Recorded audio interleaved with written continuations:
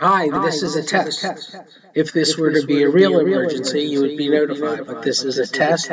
Looking at the quality of the video, it does not look like anything anybody would really want to look like unless you want to go with this granular, grainy, shady thing.